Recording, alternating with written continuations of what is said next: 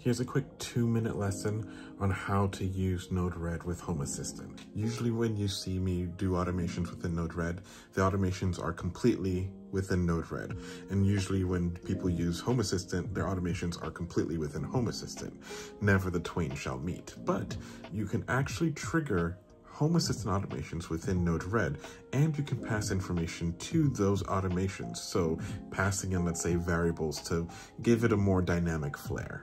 Here's how you do it. In Home Assistant, I have this test automation. All it is is doing, it's creating a persistent notification. And in there, I'm just having this message to play out, test and then me. And that me is going to be a dynamic variable that we're gonna get from Node-RED. But let's run this by itself and see what happens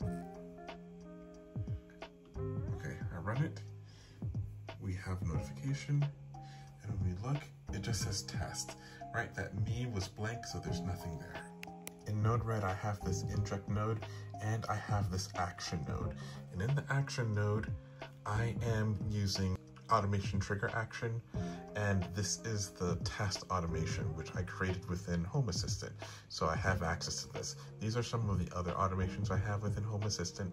I'm choosing the one I just created. The important part for passing in variables is this section here. In the data section, you need to have this variables uh, property and inside that variables property, you can have other stuff. So in this case, I have me, which is a property within there and having hello world being passed. Remember now, I'm looking at this variable of me in Home Assistant. I'm passing it from here within Node-RED. Okay, so I'm gonna trigger it. We can see that it fired and it went off. And in here, Home Assistant has a notification and inside you see test hello world.